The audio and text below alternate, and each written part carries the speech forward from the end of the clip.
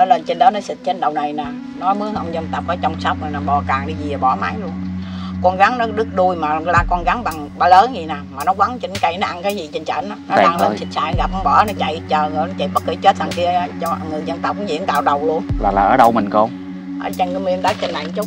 Như mình vậy đó. Dạ. thằng nước là là thấy mẹ quan âm là thường thi đúng không con có chuyện gì xảy ra là mẹ quan tôi nè hồi lúc cô ở đời nè ngoài đời nè đâu phải cô tầm thường đâu con. Vậy này là hình ảnh của À. cô ngày lúc còn trẻ đó ha đó ba mấy tuổi đó mà cô cũng gia đình cô đổ vỡ cũng ba mấy tuổi. Ồ, ly thân ba tám ba chín tuổi ly thân luôn. Lúc này đâu cũng ba ba ba bốn vậy là ba mươi mấy năm về trước hả? Ờ sáu bốn rồi. Rồi thời trang ngày đó nhìn thấy kiểu hay Nè, quá ha con tầm thường đâu mà cô dám bỏ mà khi cô bày là áo này thì anh chồng cô mấy ông bằng việc chung ở xã huyện đồ đó huyện đồ đó lên hội họp gặp cô chơi giới. Cô ăn mặc bộ đen dữ dằn lắm hở một cái áp luôn.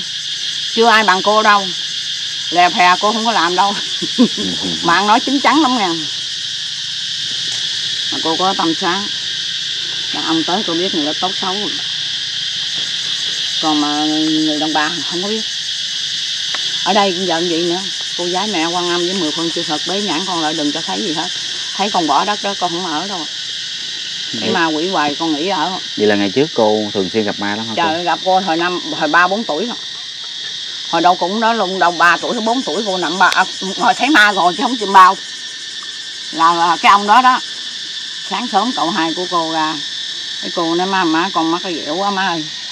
Cái bà nói chiều con bước lên đó thì bà đậu ghe thì đậu khúc nhị tỳ. Nuôi heo á bản cư chiến tranh giặc mỹ đó con cái bác kêu chị chị chạy chịch cho bên đó, chừng đông chừng đổi gì hả? Chứ không xa mà chỗ đó có ba cái mã, cô đâu biết. Dòng còn nít mà. Bà chỉ lên đó ngồi mà sáng trăng còn mờ mờ. Gần sáng rồi, đâu cũng bốn giờ mấy rồi. Cái cô mới vừa ngồi xuống cô gặp. Cái ông đó ông thịt lên liền. Ba cái mã mà cái mã đầu tiên ông thịt lên. Ông bận đó quần xà lỏng đỏ, áo đen đội nón lá gách bung dành. Mà chắc tay sao đít gì ông đi nè cô ngồi cô dòm, cũng như đây lại con chó vậy đó con dòm dòm con đi sao dòm dòm biết ma biết. Bị với mã không phịch lên mà mà cậu 4 giờ sáng rồi. 4 giờ mấy 4 giờ rồi mình cũng thấy gần rồi gần, gần sáng cậu hai mình mới treo ghe tới. Cô dòm dòm con đi mã thứ hai mã thứ ba cô không cô tóc cũng chạy. Chạy xuống nhà tới giờ này cô mới nói má cô nghe. Chứ không có nói cho ai biết hết trơn như nhiều tóc chạy xuống ghe luôn. Ngồi em gu luôn không dám nói gì con ma gì hết trơn. Từ đó tới sau thấy ma hết trơn ma ở khúc nào hả quỷ ở khúc nào con quỷ lớn của quỷ nhỏ cô không biết nữa. Mà giái bế rồi cô về đây mới chịu ở, ở đó. Vậy là từ lúc nhỏ là cô thường xuyên thấy luôn hả cô? Thấy luôn. Là là thấy người ta hiện hình luôn hay sao cô? Người mình mập là con ma mập đó. Người ốm là ma ốm đó. Giờ giờ họ ăn mặc như thế nào cô? Cũng y gan luôn. Ví dụ người sống nó thích màu đen hay màu trắng là nó cũng y gan vậy thôi. Mà có vợ hỏng là con tin là khác. Còn con ma là nó không có đi vợ hỏng rồi tóc tai của họ thì tóc tai của họ cũng không có sắp sơ sắp sải đâu hồi chết sao sống vậy đó sống sao chết vậy đó. Hay chết uống tóc uống thì cũng tóc uống. Ờ, bới cũng tóc bới chứ không phải sắp sơ sắp sải như mấy người ta nói ờ, như trong phim mà ảnh đóng con ma nó ra hiện rồi tóc sắp sơ sắp sải vậy không có phải. Ừ. đó là cô thấy thường khi lưu hoài đó. Mà tại vì trong phim nó đóng vậy với hai mấy người kia là thấy nghe ám ảnh theo vậy chứ không phải vậy đâu. Cái người ốm là thành ma ốm còn người mập thành ma mập chứ không phải là mà chết rồi cái con ốm nữa ma ốm không có. Rồi người ta mình trước khi mắc sao thì sẽ lúc mắc rồi thì cũng thì giống cũng vậy, luôn. đó. Ừ, với cái ăn mặc cũng vậy luôn cũng cô? ăn vậy luôn không có khác gì hết trơn. Rồi ví có, dụ đau ho nó cũng vẫn còn ho mà hết cái nghiệp của người ta không ho hay không mình không biết. Mà khi ta đi á không biết có nhát mình hay không mà cái ho người ta vẫn còn. Ví dụ người ta đau gút gút gì người ta cũng vẫn còn đi gút đó là cái trong cái cái hình bóng hồn người ta gạ đi như vậy đó. Thì cũng như là còn người ta hết hay không mình cũng không biết, nhưng người ta đi mình thấy như vậy đó. Chứ không phải là như trong phim mà cái mắt à, áo trắng mà tóc sắp sơ, sắp sải thì ghê thiệt. Không có, không cũng gọn gàng lắm. Chết làm sao là sống làm sao chết y gan gì đó. cô còn nằm thấy đêm này hồi được cái là năm nay lúc ừ. còn lúc đó cô cũng không biết nhiêu tuổi ba mấy quá có thể là mấy chục năm rồi một cái giấc chim bao đó là cô tới giờ này còn hơn người đời mà trúng số hai, ba vé độc đắc luôn. Rồi nói quá mình sợ tổn phước với hai. Trong chim bao cô thấy cái điểm đẹp mà cô tu không cái mấy con rồng mà nó quấy đất quấy đất này nè, nó sấy sấy, gió sấy. Bây giờ để hiện tại thế là cô thấy là đầu năm, sáu tháng sau là ở Cà Mau mình, cái trận mà bão số 5 đầu tiên khởi Việt Nam mình đó, là ba mấy năm rồi đó. Không biết không? Là là cô thấy là đầu năm, sáu tháng sau là là ở Cà Mau mình, cái cơn bão đó là chết mấy trăm người đàn ông đi đi biển đó. Còn bây giờ hiện tại là nó sấy như nước ngoài là nhiều, là gió sấy, gió gì nè. Đó là con rồng nữa chứ không phải là gió sấy đâu, con rồng trong đó đó. Cô thấy gì nè? Là cũng như đây mà lên trên chóp núi đó vậy đó nó mấy gì một cái đen thui sau lưng, nó mấy gì đeo đen sau lui cái đuôi nó mấy nó nó đeo đâu trên trên mây, trên trời rồi chảnh á. Mà cái đầu nó thòng xuống gì nó mấy một cái nó đen thui, mà cô thấy đầu gầm gõ gàng luôn. Cái cô nói, chết rồi, trận này gọng mấy mình à, đi ra tới biên giới luôn, mình ở đây nó qua tới à, được khỏi kinh vĩnh tế luôn á. Cái cô mới gặp gì rồi nó má má, trời ơi, con gọng nó mấy rồi, vậy là mẹ con mình đây chết rồi má ơi. Má nói, con chắp tay vào ngực. Cái cô mới chắp tay vào ngực, cô nói, một ai gì đạo phật thì con rồng nó quay về hướng này nè. Nó quay về hướng này cơ cô mới có ông ông xui của má cô á. Cô mới nói với ông xui với má cô là ông bên Phật giáo hòa hảo cũng dừng bảy dừng bảy còn nằm bao thấy điềm gì dừng bảy. Con chắc là dường cho nên một ai gì đâu Phật có đầu con rồng nó mấy gì đây nè. Mà má con mới nói mấy một cái là góc trời đó con. Mà bây giờ con rồng mấy cô bắt lên à, uh, đi tết gì đó. Nó ngoáy ngoáy đó cô nói trời trời chim bao bây giờ nó hiện ra thấy ghê luôn. Mà thiệt y gan luôn đó còn cái mây cái đầu trắng là con gồng trắng còn đen thì gồng đen đó. Mà cô kỳ đó thấy gồng đen. Con hút thuốc con dụ nha. Đây gần ngủ nó cháy là chết liền đó. Hôm đó giờ cô sợ cô mới chạy nước trong bột sợ nó cháy lan có kiểm lâm đồ vô nó cũng đỡ có nước sẵn. Dạ. Chạy điện nước ngoài vô á ban đêm thức. Cái sáng bơm lên. Nãy cái bồn kế đó nó bồn cây. Ừm, hai khối nước. Giờ mình ở đây lúc mới về rồi mình sinh hoạt như thế nào cô? Trời ơi, cô khổ sở lắm. Con ơi kiếm nước vô tới tà lọt thằng trai cô chở can ba chục lít nó chở đâu nổi can thứ này nè. Đầy kêu can thì chở không nổi đổ vào nửa can. Nửa can nó lúc lắc lúc lắc lúc lắc như sao ngồi nó chở không được mắc bệnh đi gì à.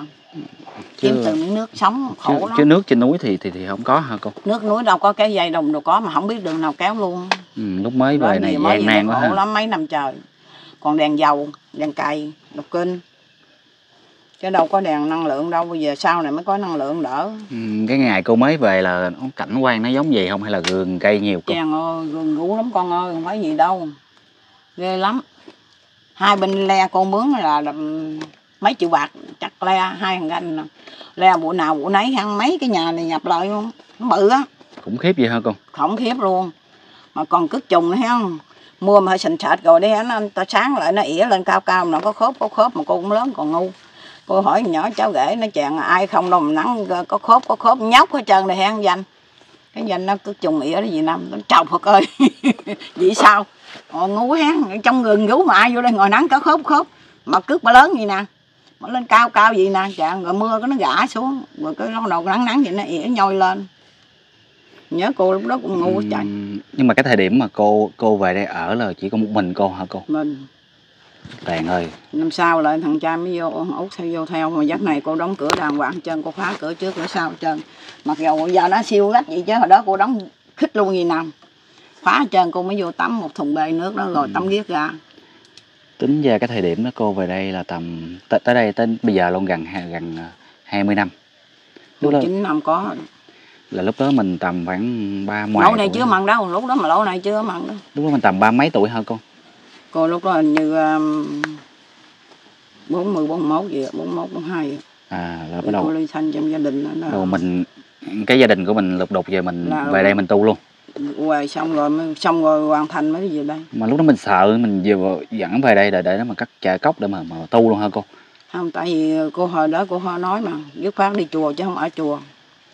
Kiếm cốc tất có cốc tự tu ơn chứ không có lại chùa mà ở tu ý con nói là ờ, lúc trước một th- một mình cô một một thằng nữ như vậy mà dám về một cái khu rừng hoang vắng như vậy mà để tên bởi vì nhà rồi mà tu. hen cái bà ở Tân Châu bà vô đây bà nói chị chị mướn tôi ngày triệu bạc tôi không ở nữa. Chị gan dạ thiệt tôi nói không? Tôi không biết sợ hồi đó tôi sợ ma dữ dằn lắm. Mà sợ người ta nữa mà đất đây linh thiêng thiệt. Ta thả trâu thả bò đi là một người thả ba bốn chục con năm sáu người đàn ông đi thả. Bữa đó hai vợ chồng nhỏ cháu vừa ngoại cô nói sơn thần ơi ông đừng cho mấy người thả bò lại đây nghe ông. Khiến cho đi chỗ khác ăn thiệt con, y gan luôn. Tới chừng hai chồng nó vô ngày nay, ngày mai người ta mới thả bò ăn, là năm ngày. Ông sơn thần đi linh lắm luôn bởi vì ông nói ông bắt cô về đây mà. Bắt về đây mà. Về à, cái lúc mới về đó cô, rồi những cái cây cỏ tùm lum hết từ lúc đó chắc vắng dít kỳ lúc đó thời đó chắc còn heo rừng này kia hả, heo gần mưa xuống bây giờ cũng còn xuống lại gai. Đàn ơi bây giờ cũng còn luôn hả còn mà gắn nó bò thiếu gì con ơi không cô ngồi đây nè. Hôm đó gác ra đến đây cô chưa đang bị cô tính để nó đầy ủ đây nè. Cô ngồi đây nè cô không biết bữa đó nó giót cái gì ta. Mà cô thẳng cái giò này ra nè cái giò lón khúc gì nè. Con gắn cho ba lớn nè mấy con chó cô nó gượt đằng đó nó chạy bò ngang cái giò cô cô nó, nó chạy lạnh ngắt luôn mà bà hết cái mình luôn nha cô nói chàng ơi trường ơi bữa nay mỹ đâu vô giò tao vậy trường? Chạy vô ngay vô đi luôn. Bữa đó cô ngồi đây nè chừng năm sáu ngày nay nè nó chạy mấy con chó cô gượt tao nó không có cắn tụi nó nghe mấy không? Cắn nó tao không cho bị uống thuốc nó bị chết à. Cái nó cái nó nó bắt hơi không kịp nó gắn cô chạy đây là tao nói mình lẫn quẩn đi chi vậy? Mấy kia đi hung dữ lắm tao làm lại mới chết nữa đó. Cô Ừ. có thuốc gắn à thuốc vắng ha. Ờ ba cô ổng ờ, ổng ở đó cho cũng bốn năm chục năm không chết ngừ luôn gắn quá trời gắn cô gì với xin thuốc gì với cô cho thuốc đó. Mấy gắn này nè không năm kia năm kia nè. Năm kia. Nó theo người ta đi bắt ve, nó sủa hoài, không thôi, qua tới đó kìa. Gắn cắn một cái ứ, thằng trai cô ngủ trên này, cô ngủ trên cốc nó ngầm cái ứ, nó ngủ 11 giờ mấy rồi phía cái nó gọi điện cô, nói má má, con con con chó bị gắn cắn rồi, không biết con nào, bà xuống đây. Cái lặng, nó kêu cô, lặng có, lặng pha thuốc á cái nó bằng cái ủng vô là nó để thằng chá đậu đội qua đó con gắn này cắn con này nằm tại chỗ luôn. Còn năm đó cô cũng còn cặp mấy con này nè bầy con này nè nó cắn ban đêm cô không nghe. Nó cắn bên đó tới tới trưa nó sình chết. Tàn. còn con này thằng này con trai cô nó nghe nó nó mới à, nó để để con đi qua bển con kiếm con con nào không biết nữa. Bị đông lúc đó hai mấy con lận. Đâu kiểm tra được bị nó đi vòng vòng mà đâu biết ban đêm. Cái nó đi ẩm gì tới đây nè nó ơi bà pha thuốc đi. Con bánh mì bị, bị gắn rồi cho nó kêu cô cô chới giới liền cô nói trời trời con bánh mì bị gắn rồi không biết nó ra sao nữa. Mà còn gắn cô mấy con gắn này nó cô cho thuốc hơi hết à. Cô mới lấy thuốc con quậy rồi, đêm về nó nè ngang con bị gắn rồi đó ngang uống vô nghe không? Nó uống ực ực nó khôn đó cắn rồi nó cái ứ nó nằm tại trận luôn. Gắn gắn quá độc hả con? Gắn độc không con ơi. Nó cắn là coi như mệt với nó đâu đó ừ, bởi vì lý do mà cô nuôi nhiều mấy bạn này ở đây là vậy đó hả cô? Cô không phải sợ gắn nuôi cho nó là để nó nghe kinh kệ cô cho ăn chay để giải nghiệp của nó để kiếp sau nó thành người để tốt để tu. Cô độ cho chúng sinh này. À, chiều cô đọc kinh địa tạng chú đại bi chú quan à, chú giảng sanh a di đà phật để hồi hướng cho chúng sinh địa ngục chúng sinh nó trong pháp giới mình luôn. Ừ. cái đại nguyện cô nguyện vậy đó.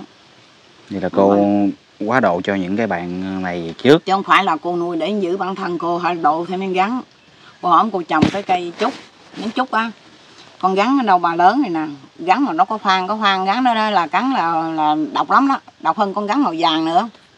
Mà nó như đây nè cô khòm khòm đây nè đằng này nó nó ba lớn à nó phùng vô vậy nè cái cô dậm chào phụ cơ bữa nay mày muốn chơi tao ở chưa hết trường.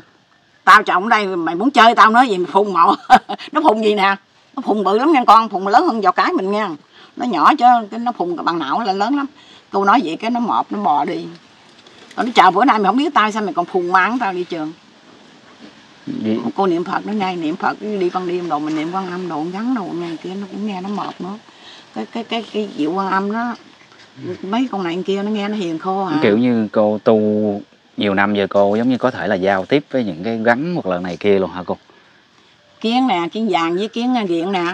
Năm năm năm chưa bị bệnh dịch cũng trong quốc đổ đen rồi xài cô bán cũng có giá lắm, có tiền lắm luôn chứ không phải như giờ ngặt nghèo đâu. Giờ bán không được, mà không có trái nữa. Rồi mướn à, con dân tộc bên bển á, nó qua nó bao xài trên đất trên này nè. Kiến vàng. Nó cắn nó quá trời nó chạy xuống. Tôi hỏi sao mà con đi xuống gì không bao, nó kiến vàng quá bà ơi, nó cắn thua quá trời cắn. Tôi nói thôi, lại cây nào không có kiến vàng con lại đó bao đi. Để bà nói chuyện với mấy con kiến cái thằng trai cô nó chạy xuống nó quá trời mấy kiến nghiện máu nó trong cây nó một nó mấy nhánh nhánh mình chặt nó một một nó ở trong nó quá trời nó cắn cứng mình có hết trơn rồi. Nó thôi đi kiếm cây nào không có lại leo lên đi chút xíu tôi nói chuyện mấy thằng kiếm rồi hãy lại bao. Mà cô thấy chỗ đó cô ham tu. Cô mới dỗ cây nó nó cô niệm ba tiếng ai gì đạp phật kiếm à tiếng vàng tao nói mình nghe nè. Thôi giờ con đừng có cắn nó. Con đeo á, con nhỏ lắm con đeo con cắn nó rồi nó gỡ con phải chết bây giờ con bò lên tận trên cao hết đi bút lên cao thiệt cao đi chút xíu lại nó bao. Bao xài cho cho bà rồi là cho cho ta rồi là con hả hả hả đi ra. Thôi con đừng cắn nghe không? Cắn nó nó gỡ ra con chết đó. Cô dỗ ba cái như vậy rồi, cô niệm phật rồi. Chừng nửa tiếng đồng hồ sau nó bao cây kia trở lại lên bao đi. Kiến ở dưới đất nó rút lên cái ổ mà nó ổ bự gì mà nó còn dư ở ngoài luôn. Con nói, trời, ngày hồi nãy ngu ha phải mình kêu nó đi xuống đi về chỗ khác. Chút nữa nó bao rồi, trở lên trở lại vậy mà lên ba không cắn một con thằng kiến diện này cũng không cắn luôn. Nó cô thấy gì cô ham cô nói trong lương tâm mình nghe mình tu mình nói với mấy con thú mà nghe được quá quý. Cô cô thấy đó mà cô ham. Dạ. Cô tu chính bản thân cô phải soi xét cho cô cô không học ai. Nhưng trong kinh cô học trong kinh để cô học để đọc kinh. Với mình sửa tâm sửa tánh mình lại thôi. Mình tự giác ngộ cho mình chứ đừng để ai giác ngộ cho mình đừng để ai dạy cho mình. Hồi đó cô cổng thằng trai út cô đi đó cái à, nó mới có lẩm đẩm hai ba tuổi à. Cái đoàn phật giáo á đoàn trăm gửi hai trăm là dữ lắm rồi. Lúc đó đường đi này à, bên Lâm Viên đường đi á, chứ không có lộn nha cái à, mấy người kia dừng lại. Cô điếu mình anh hai mẹ con hà không có nhặt ai hết trơn á. Người ta tưởng mình bên Phật giáo hảo hỏi cô cô đi đoàn nào vậy? Đó nó đoàn hai mẹ con à. không có ai hết á. Rồi cái thằng nhỏ cũng bận áo giặt mẻ đồ may áo giặt mẻ bị đầu nó ba giá cái chớp đó. Cô cũng phải làm cho nó chị luôn cô mai rồi cái mấy người kia hỏi nói chuyện hơi cái bắt đầu hỏi cô cô cô đạo nào nói đạo Phật giáo thống nhất. Hồi đó là kêu thống nhất giờ Phật giáo Việt Nam. Cái à, có cái ông nó cũng phân đạo có ông dây mặt chỗ khác mình ờ, ông không nói nữa. Cô nói ông này tu không được. Nói bụng thôi nghe chứ mình không nói người ta nghe. Tu một phân đạo nữa tu một phân dây cấp nữa thôi ông này không được. Còn mấy người kia người ta nói nói cái võ ta hay quá hay quá cái tự nhiên cô giỡn ốc mình bẫy cô luôn nha. Tự mình không giác ngộ ơn mình để cho người ta giải pháp người thuyết pháp cho mình nghe nó hay vỗ tay nó mắc cỡ muốn chết được. Cô nói của hên gì đó nha nói hay quá vỗ tay lốp bóp bóp bóp nè. Cô nói không tự mình giác ngộ mình. Tự mình phải kiếm rèn bản thân mình cho mình đi vào con đường giác ngộ. Chứ đừng để ai dạy mình học mà mà ú ớ ú ớ cũng như không. Ừ, dạ thưa cô thì không biết cái cái cái cái, cái căn duyên mà từ khi mà cô phát cái tâm tu á là cô ngộ nhận ra cái điều gì trong cái cuộc sống mà mình quyết chí mà đi đi tu đến ngày hôm nay á cô? Nói chuyện gia đình cô cũng lòng vòng lắm. Cô cũng hồi đó trước kia gia đình cũng khổ sở lắm gia đình. Rồi cô nói cô mình cô không phải một hệ. Cô đi tu đây cũng nhờ có nhiều kiếp cô nhân viên nhiều kiếp rồi cái phần thiên liêng á nhiều đời nhiều kiếp cô theo để ủng hộ cô cái kiếp này để tu. Chứ không phải là một mình anh cô giác ngộ một cái kiếp này được đâu. Ừ. vì cô thấy miễn nói ra cô nhớ bóng hình quá khứ của cô cái áo màu vàng đầu chọc. Vậy là cô biết từ cái kiếp trước hay kiếp của, trước của cô cô cô biết. Nhưng mà cái chùa đó cô không có cao. Bây giờ cô nói tới là cảm giác cô còn thấy nhớ lại với hình bóng của cô. Thành ra cô tu nhiều đời nhiều kiếp kiếp của cô thành ra cái cái phần cái hào quang đó dẫn theo tiếp cô hoài là tự cô ham đi tu. Cô nói á, trần gian này tiền của bao nhiêu cô không còn. Chết cũng nắm theo không được gì. Mà ở nhà tối ngày gan với ông chồng hoài rồi chết gan cái đống sình thịt thịt thịt, thịt thúi này. Của quyền mình còn đang chờ mình tại sao không đi tu? Mà lúc đó cô cổng thằng con trai cô thằng út nó mới có 11 tháng mấy thôi đó. Rồi là lên chỗ cây dầu đầu đó con cái điện 13 đó. Là cô có hai bà chị bạn ở cái bên đó bà cũng già rồi bà đi theo cô đặng cô nghỉ ngơi bà đi theo mới nghỉ được. Chứ đi theo cái đoàn nó đi lẹ bà đi không nổi. Bà gặp cô đi bà đi theo. Hai bà đi theo hai bà bảy không. Cái đi lên tới trên à, điện ờ, đầu đó cô mới để nhờ cái võng quán chỗ điện dầu đầu á cho nó ngủ đó. Cô mới ra chỗ lên cây dầu đầu cô xá từng trên từng dưới. Cái xuống cô mới chắp tay vào ngực để niệm phật. Cô lại không được lại nhức đầu dữ lắm lại bốn cái rồi là cô muốn ói luôn á. Không biết hồi nào giờ vậy đó xá xá được. Mà mình thấy mình xá là sợ có lỗi không biết nữa. Tại sao người ta cúi đầu người ta lại một sát đất? Còn mình cứ xá xá mà nếu lại chuyện lái thứ hai, thứ ba là cô ngặt mình lắm rồi cái thứ tư là con muốn ói. Nó mệt trong mình, làm như nó máu hay gì, nó chạy mà không phải máu. Làm như nó ngặt mình dữ lắm. Rồi cô mới ngồi chắp tay xuống niệm phật lại trong cái ngũ quyền á. Lúc đó cô cũng tính chưa có giác ngộ tu nữa. Nằm chim bao thấy điềm đẹp dữ lắm mà chưa có tính tu đâu. Rồi cái cô thấy trong củ quyền á hiện ra người này tham cái người kia nó tội nghiệp con tôi quá người nó tội nghiệp cháu tôi quá kiếp nào cũng tu kiếp nào cũng khổ. Cái um, cái um, người nào cũng nói vậy hết trơn nha. Cô mới nghe nói vậy cô tự nhiên cô nó chàng ơi tích cực khóc luôn. Khóc một tiếng mấy đồng hồ luôn khóc cho đã thèm luôn. Không biết mắc cỡ luôn người ta đi y y kệ người ta. Bữa nay gặp củ quyền mình nói là kiếp nào cũng tu kiếp nào cũng thật khổ mà cụ quyền ngồi để chờ con nè, người nói chờ cháu nè, kêu cô nói vậy nó nghe không? Là nói giỏi ngay tâm của cô, ngay chân cái tâm cô mà lỗ tai cô nghe cạnh cạnh luôn. Nói kiếp nào cũng tu, kiếp nào cũng khổ, tôi nghiệp con cháu tôi quá mà củ quyền thất tổ ông bà ngồi để chờ con tu đắc đạo để cứu củ quyền là con. Nói bao nhiêu mà cô ngồi cô khóc nức nở, khóc nghe ngào luôn, khóc trời khóc đã thèm. Có hai bà theo cô đó, hai hai bà chị bạn đó, mà để cho cô khóc đã đời tới chừng xuống rồi cô hết khóc rồi đang hàng nhỏ chút xíu thức nói, nãy tôi khóc vậy, sao hai chị không khiều cho tôi đừng khóc? Mà nãy tôi khóc hăng luôn đó chị. Tôi khóc thấy đã thèm luôn đó chị. Lâu lâu mới gặp cụ quyền mình, bảy cụ quyền mình ngồi đi chờ mà. Bảy cụ quyền ngồi chờ con á, chờ con đấy tu đắc đạo cứu cụ quyền là con. Mà nói kiếp nào cũng tu, kiếp nào cũng khổ, nghe nói đau đớn trong lưng tầm khóc ngon luôn với cụ quyền mà bảy cụ quyền ngồi để chờ con tu đắc đạo cứu cụ quyền là con không chỉ ai, mà chỉ ngay cô mà giỏi, ngay tâm cô mà lỗ tai, cô nghe dội dội luôn. Mà bây giờ cô đi cầu an, cầu siêu ai hả, bất cứ. Trong gia đình người đó mà chết, có bà bà xui của má cô nè, ở trên đồng kỳ. Bà chết rồi, cái đít bà thúi một lỗ gì nè, con mắt bà nó tan con ngư rồi.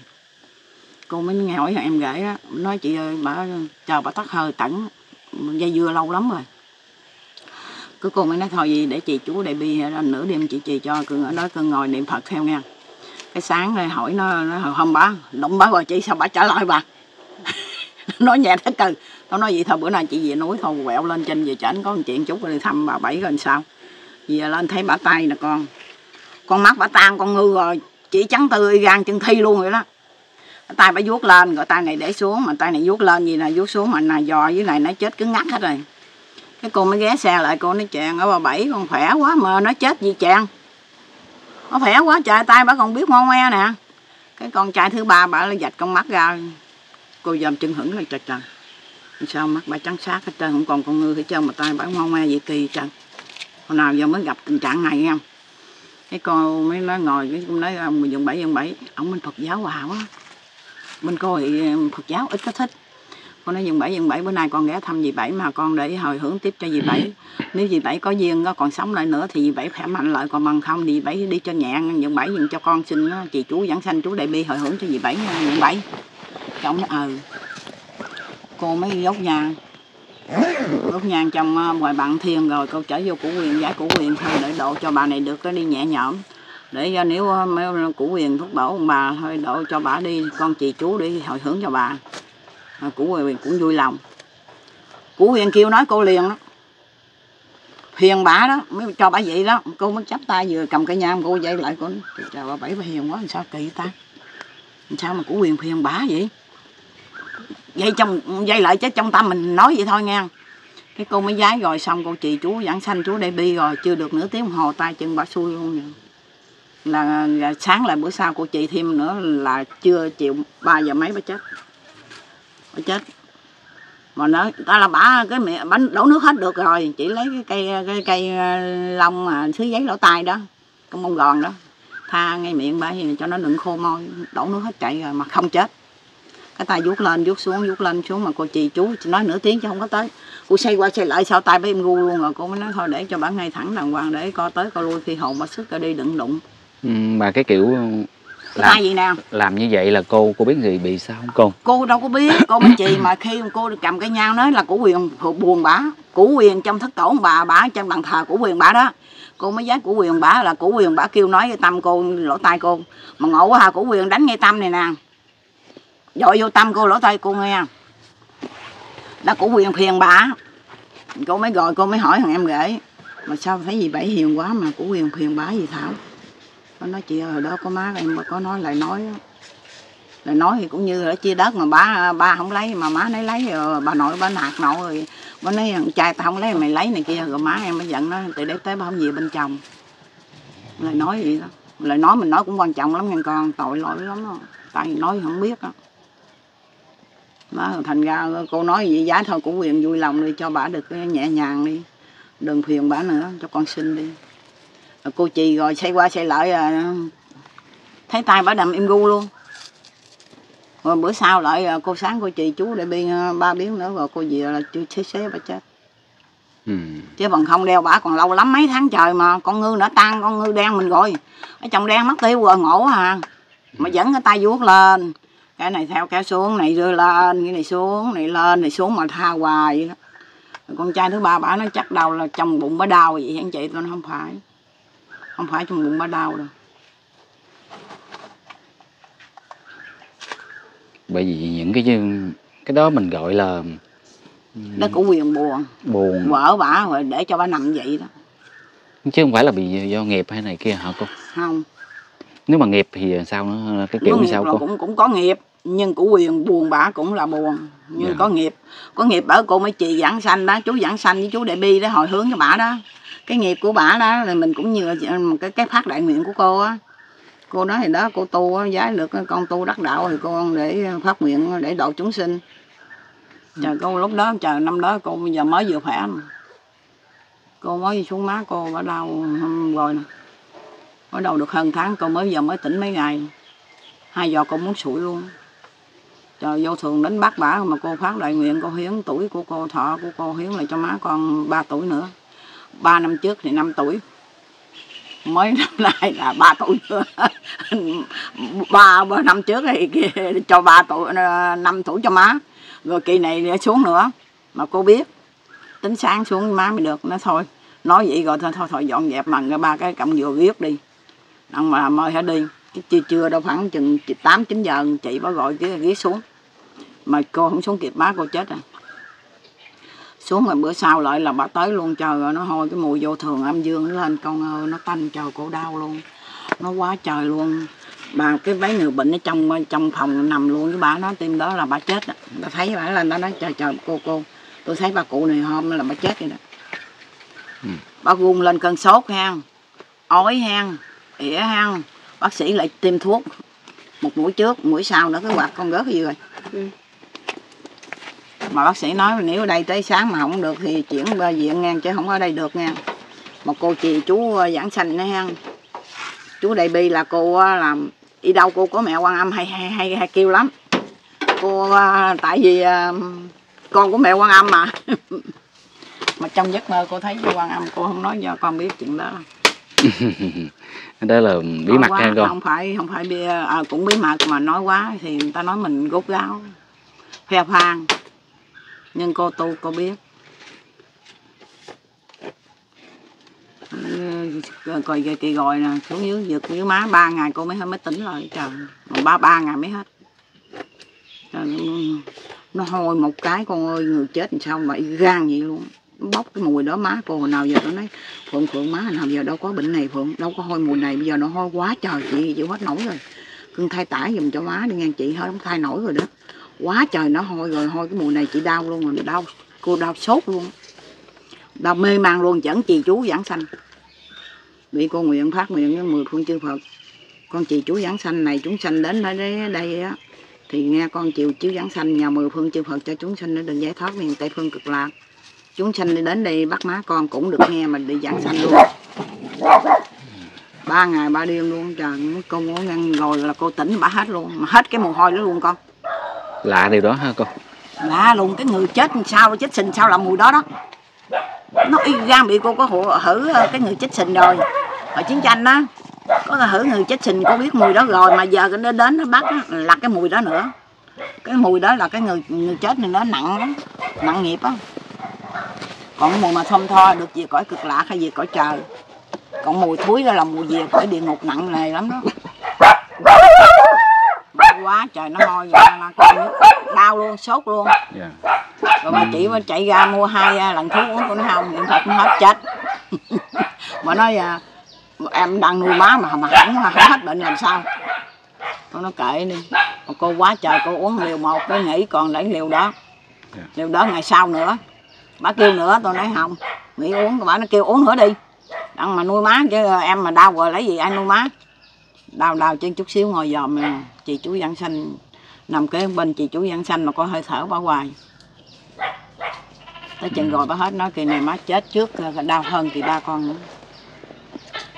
Đau kỳ ba của cô má cô bà chết là tẩn ổng rồi là bà sáng đêm luôn trời bà chết cầm canh. Bà chết cầm canh bà không biết tới chừng sáng bà giật mình. Cô ngồi đó cô chị chí chú giảng sanh chú đại bi ai di đọc phật quan âm sáng bà tỉnh lại bà xa bà nói, có mấy chị đầu lại luôn. Bị ba chưa chôn mà. Bà nói, con ơi, con, hôm giờ má chết rồi, má mới tỉnh lại là con. Cho má chạy trong đám gần đó tăm tối lắm con. Không có ánh sáng mặt trời, mặt trăng hết trơn con ơi. Mà ngang có hai người gượt sao má. Chắc ngô đầu mở diện quá. Bà nói cái cô mắc cười trời tầm tối lắm con ơi không có ánh mặt trời mặt trăng hết trơn cái khu rừng đó con mà gượt hai con hai người đó gượt má hết sức gượt rồi con ơi. Hôm má chết tới giờ má mới tỉnh nè. Mà tự nhiên con đâu con sạc ngang con thò tay níu má ra anh đang mặt trời mọc. Thì bây giờ mặt trời mọc luôn. Sáng đêm cô cũng tháng đêm ba còn mấy chị kia đâu có biết. Ừ. mấy chị kia lo ngủ. Ừ, dạ thưa sư cô thì không biết trong cái pháp môn hành trì của cô là mình đang uh, tu theo đạo Phật nhưng mà mình cái cách hành trì của mình như thế nào cô? Cô hành trì làm kinh thần kia á. Cô phát cái đại nguyện cô tu á được chánh đẳng chánh giác thì cô để độ chúng sinh. Dạ. chơi gì năm ơi? Ở địa ngục. Ghé đi chơi. Cái gì mà ngại ngùng ghé chơi.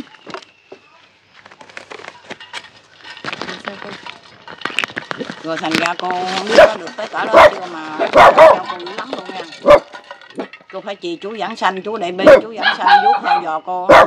Cô hỏi cô đi qua chùa ba chú cô đổ hết hai lần mới nhẹ cái năm đó cô đi mua quen cô đi mua um, hà thu ô cho nhỏ em gái. Chàng ơi mà không dám lợi chỗ đóng xương về đây cũng gần hai chục năm mà không có lợi đóng xương coi đâu. Sợ xương lắm. Rồi cái uh, đi về chờ hai giờ cô dở không nổi luôn. Cô mới chì chú giảng sanh chú giảng sanh rồi hết hết rồi hổm cô đi qua một lần nữa. Cái cô nhất nữa, cô nói vậy là phải đi phát cái đại nguyện đó là đi độ chúng sinh bên chùa Ba Chúc mỗi gầm lớn, gầm á 14 gầm ấy thôi là 29 30 một tháng đi hai lần. Cô qua đó, cô để phát nguyện để độ chúng sinh được giải thoát. Cô mới ra ngoài, qua bên đó mượn nhỏ cháu bên đây nãy đi kiếm củi đó. Hai cô cháu đi cô mới mười phương chư Phật, ngày hôm nay con đi qua bên đó để độ chúng sinh nhà mười phương chư Phật độ cho con chị chú giảng sanh này hồi hưởng cho chú đi. Ngồi chờ ngồi đứng sắp hàng luôn. Cô nói nè, nghe tôi chị chú giảng sanh niệm phật đi để hồi hướng cho chúng sinh về cõi a di đà phật. Thôi đừng có quan cố mà hận thù. À, dây trả trả dây hoài, không biết chừng nào hết. Thôi quan hỷ hỷ xả đi. Nghe tôi để niệm phật, niệm pháp, niệm tăng để giải thoát đi thôi sớm lại nghe. Ngài kiên lao địa thần ông mời mấy các vị đó chết trong cái này đó là bật chết chết tức chết tối hay là chết gì cũng vậy. Mời lại đây tôi cũng như mình ông quan lại cho cho quà vậy đó. À, ngài ông kiên lao địa thần ông mời chúng sinh mà chết tức chết tối chết hồi chiến tranh nhá là là con bát rồi đó hả là chết đau chết đớn gì cũng được. Mà lại đây nghe để giảng sanh. Mời ông kiên lao địa thần là ông giữ đất đai á. Mời mấy chúng sinh lại đây nghe rồi chị rồi trời ơi tới chừng giờ rồi hỏi nó nhung con chị nó cũng chị theo chú mà nó chú bên uh, giảng sanh của đức thầy. Con có thấy không? Nó đâu thấy bị gì nó mới tu đây với hai cái giới nó chưa có đại nguyện. Tu phát cái đại nguyện mới được. Còn mình tu mình không phát cái đại nguyện tu cũng không được cái gì nhiêu rồi bữa hôm cô đi với má cô về mới hết hai giờ là từng năm sáu ngày nay nè. Đi không được luôn á nó vô dò cô gần gần gần vậy đó. Kiểu như âm nó vô như tê ra ờ.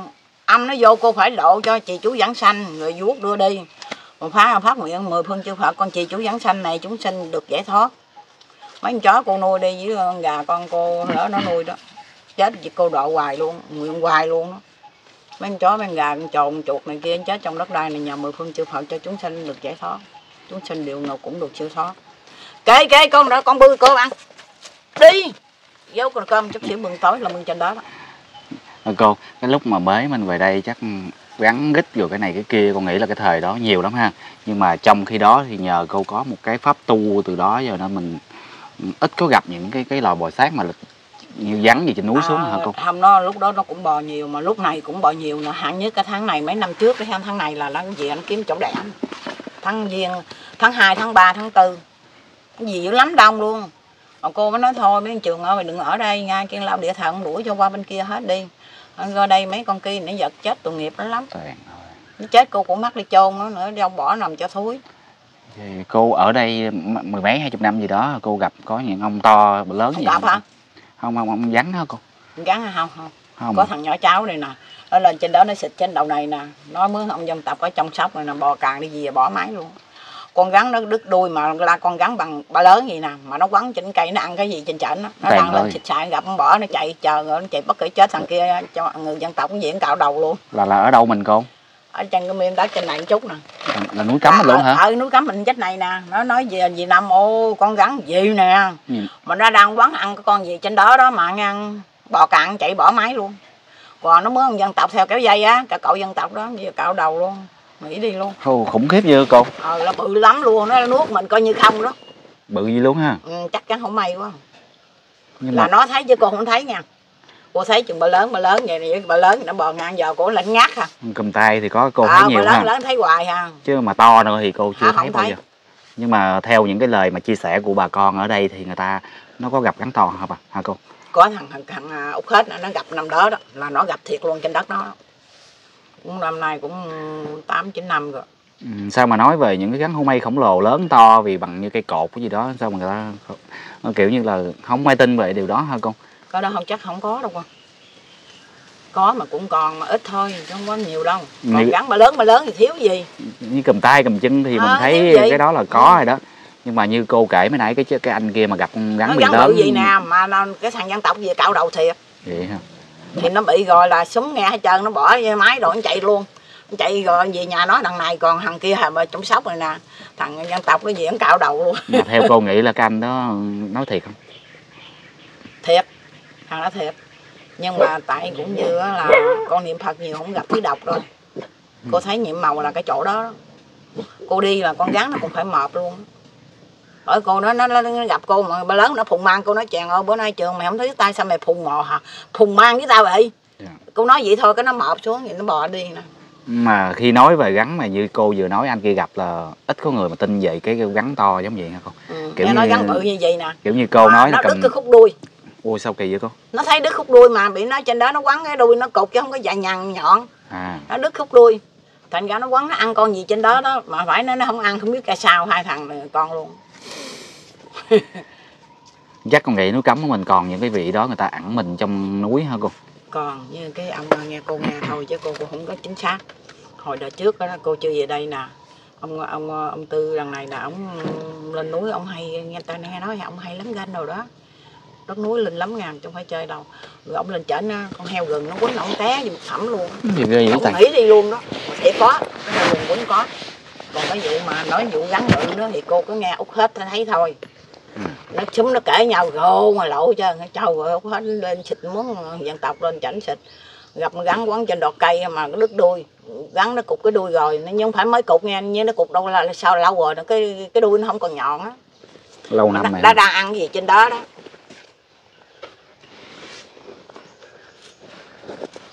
Rồi nó nói ăn gặp rồi là dân tộc gì ăn cạo đầu luôn thì mấy nãy con đi vô con hỏi cái ờ, cái chú đằng kia chú nói ừ, ông đi làm cho anh là ông gặp cái con bự đâu vẫn như cô cô tả chắc trên này quá hay chắc cái chắc vắn đó quá ha. Ừ, chắc gắn cái chỗ gành này nè. Đây lên đây bỏ mấy dây đất Đúng rồi, lên trên dốc này nè. mấy nãy chú chị xéo xéo xéo, xéo qua đó đó. Ừ, xé xéo ở đây là cút hết. Đất cút hết giờ nó bán rồi. Cô không đi chùa ba chúc cô gặp. Có muốn gì lại chỗ chùa ba chúc đó nha chùa đóng xương đó.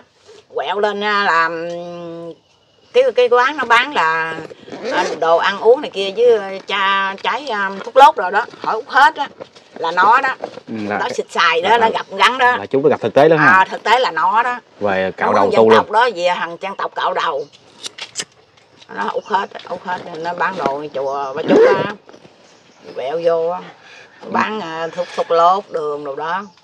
Ừ, núi cấm của mình con bữa hổm cô đi gặp nó rồi hỏi đất chảnh rồi nó nó con bán rồi bán đất đó. Chắc chú nó sợ quá hay là sao nó bán nó đi mần công chuyện nó không có lên làm luôn rồi nó À. cũng sợ nữa. Vậy ha đó từng dốc lắm con ơi. Lên đó làm biến đi xuống đó dốc đứng sững ha chứ cái kiểu mà cô nói bằng cầm tay cầm chân gặp sợ hay mồ nó chi bự cỡ đó nữa hả cô? ơi, cùng tam chân này qua hôm đó cô cho thằng dân tộc ở trong sóc này nè lại kiếm củi lấy củi gì chậm bắt được con gắn bà lớn nó cầm nó nó- nó- nó nói à, bộ bộ con kiếm củi à, cô cho rồi con gặp con gắn hay vậy nó dạ gắn đây tiền không? Con thả đi con đừng nên bắt nó. Tiền bao nhiêu con cũng xài hết trơn, con thả đi. Cô cho con củi chứ không cho bắt gắn. Nghe lời anh thả. Còn thằng nhỏ bên bà chút vậy, nó qua đào đó cô hầm than, bên đây cô đốt than. Nó gặp một con à, con vít mà là con bù kẹp đen nó kêu con vít cái gì đó.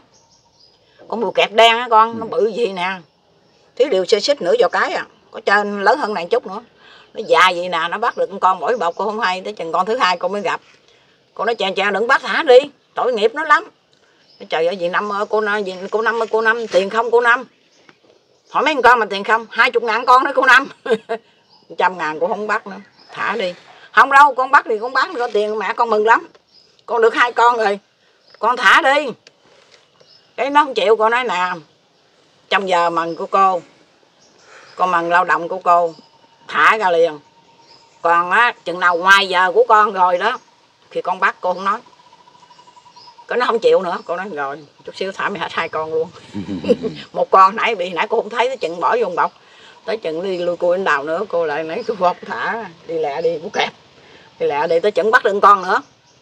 Bảo con cô đâu? Bảo cô thả hả cô năm ờ thả rồi. Trời ơi con đó tới hai chục ngàn cô thả con hết hai con là bốn chục ngàn rồi. Còn con này nữa nói không con gì hỏi mẹ ba con đi cô năm nói vậy có sai không? Nếu trong giờ lao động của cô năm cô năm không cho bắt con gì hết trơn. Ngoài giờ đó rồi cái việc bắt con gì cô không nói. Hình như mấy cái loài thú ở núi cấm của mình đều có tánh linh hết nè cô cô Năm. nghe nói đâu là có thể là nghe được tiếng người mình cô thấy là không biết cái đó không phải ờ, tính linh. Nhờ cái niệm phật hay sao cô thấy là nhà hiện tiền là hai con kiến vàng với kiến nghiện đó. Con kiến nghiện với kiến vàng mà con lại gần tới ổ thôi là nó đeo nó cắn gỡ không ra rồi đó mà cô dỗ vô cái cây cô niệm ba tiếng ai gì đào phật rồi nói nó rồi nó không đeo nó chạy ghét ta lấy dưới đất chạy tuôn lên trên cây hết. Còn kiến nghiện nó chẹo kẻ xịt trơn luôn. Ừ. Kiến nghiện vô kẻ hết trơn luôn. Kiểu như mình có một cái pháp tu mình nên mình nói có thể giờ mình niệm phật đó làm như là cái pháp tu mình nói nó nghe. Gì hết con quen con cái gì đó